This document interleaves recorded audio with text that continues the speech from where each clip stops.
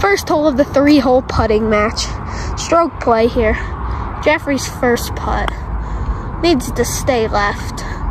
Oh! Alright guys, Doro's birdie putt here. See what he can do. Looking on a good line, looking good. Alright, Doro here tapping in for his par. Yep. Alright, second hole.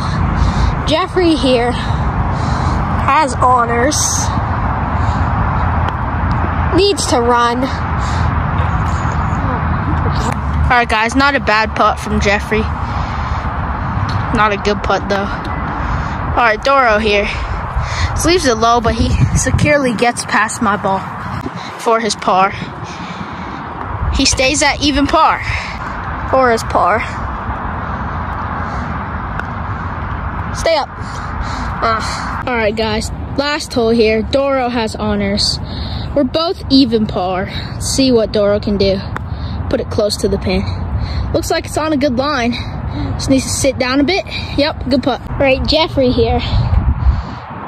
The match is tied, both at even par. But this would be to win if he makes this. It's on a really good line. Stay up. Not bad. Very good speed.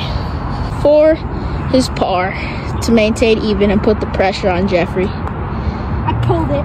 And he pulls it in for his bogey. Okay. Jeffrey's putt here to win the match. Yeah, Jeffrey, good win. Yeah.